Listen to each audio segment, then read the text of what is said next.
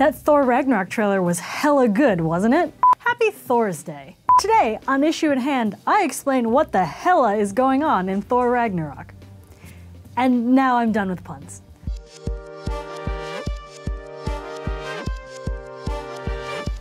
This is Issue at Hand, Polygon's show about the strange world of comics, and I'm your host, Susana Polo.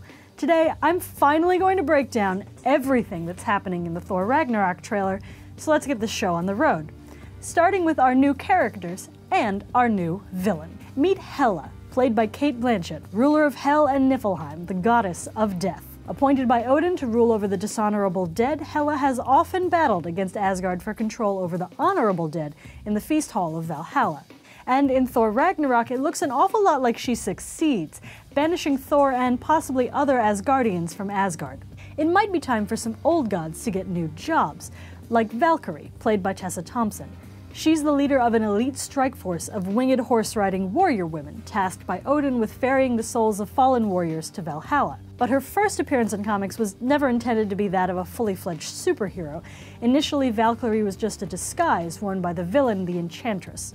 As the Valkyrie, Enchantress was essentially written as an evil feminist. In an Avengers story published in 1970, she enchanted several Marvel superheroines with such radical ideals as women should have the respect of their male colleagues, and we shouldn't define women by their relationships to men, and gender discrimination in hiring should be abolished. She tried to get them to destroy the Avengers, but was eventually exposed as an evil schemer. Three years later, in 1973, Valkyrie would become her own entity and a core member of the original Defenders. Retcons gave her an origin story, explaining that she was an actual Asgardian psychopomp whose essence the Enchantress had trapped in order to use her powers.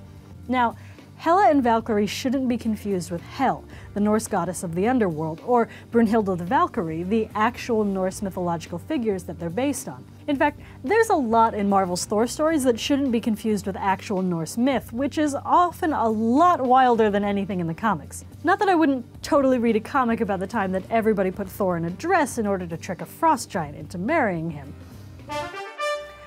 Was co-created by Jack Kirby, one of the major architects of Marvel's cosmic characters, who I touched on in last episode.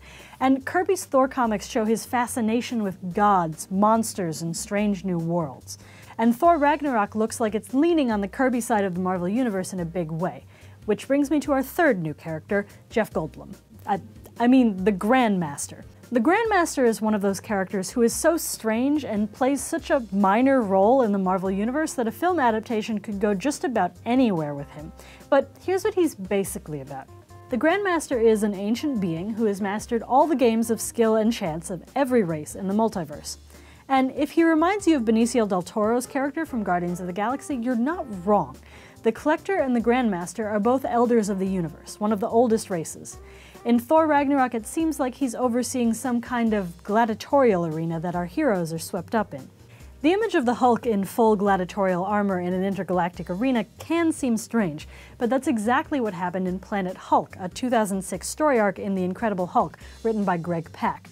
After years of cleaning up after his disasters, a group of the Marvel Universe's biggest geniuses and most politically powerful superheroes decided that Bruce Banner posed too great a threat to life on Earth to allow him to remain on the planet. So they put him in a rocket and they shot him into space. The ship was supposed to strand Banner on a peaceful, uninhabited planet outside of the solar system, but instead it went into a wormhole and crashed on the planet Sakaar.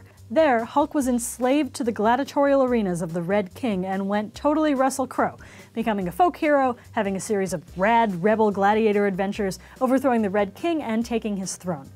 Then Hulk and his queen Caiera had a baby and everybody lived happily ever after.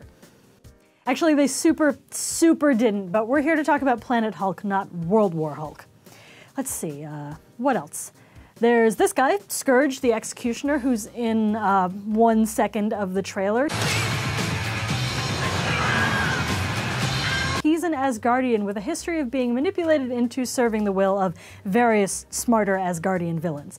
It's unclear exactly what his role is here other than to be played by Karl Urban. And then there's Thor losing his hammer. That isn't actually that unusual for the big guy. Even in comics, he's recently spent several years without the hammer after finding himself unworthy to wield it. Mjolnir chose a new person to carry out the power of Thor, while the old guy took the name Odinson and started palling around with an axe named Jarnbjorn. And then there's where Thor Ragnarok sits in the Marvel Cinematic Universe's continuity.